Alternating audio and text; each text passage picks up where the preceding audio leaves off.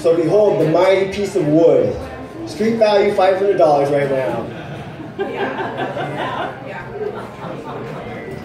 The PVC of death. All right, I know we have a lot of deductive reasoning people in here. Can you guess what's going to happen? No. Oh, oh,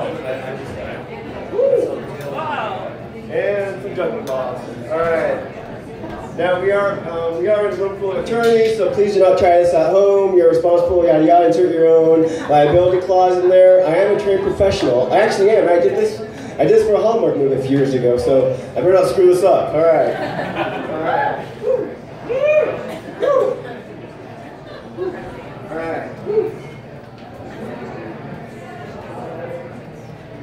There we go.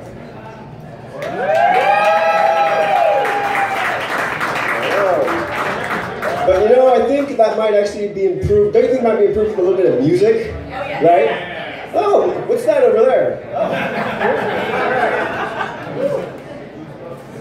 And I actually have, I'm actually supposed to play music tomorrow night, Improv Broadway down in Provo, so hopefully I better not screw this one up either. So, not this county, or maybe this county. I don't know. All right, let's see. There.